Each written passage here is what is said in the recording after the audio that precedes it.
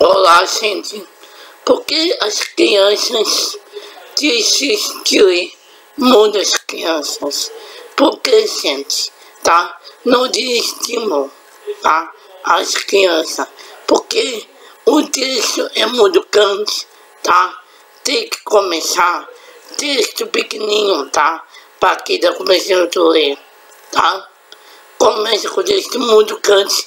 A criança com preguiça de ler tem que ser texto pequenininho, curto, para as crianças lerem, tá?